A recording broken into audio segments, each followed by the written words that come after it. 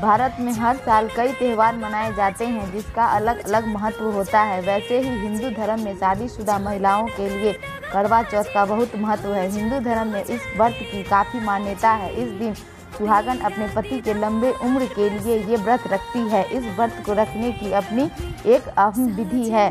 इस व्रत में पूरे दिन न तो कुछ खाया जाता है और न ही कुछ पिया जाता है। शाम के समय करवा माता का पूजा किया जाता है। इस दौरान वह पूरी सज धज कर अपने पूजा की थालियों को घुमाती है और अपने करवे को सात बार घुमाती है। भगवान को भोग लगाती है, फिर चाँद देखकर अर्घ देती है, फिर पति के हाथों से पानी पीकर अपना व्रत खोलती है।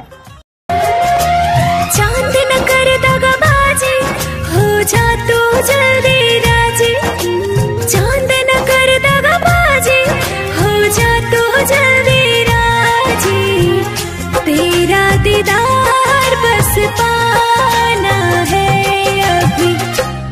साजन को मिलने